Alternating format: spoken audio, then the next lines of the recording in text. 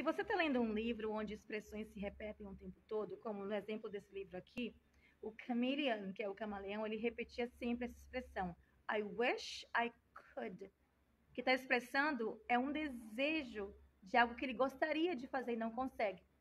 Escreve essa expressão no quadro, mas não escreve, escreve antes, não. Você começa contando a história e quando falar I wish I could, você para e escreve no quadro.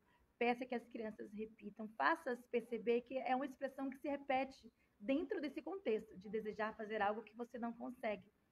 E não leia a história, gente. Conte a história. É diferente você ler, estar preso ao que está escrito, ou você contar de forma espontânea.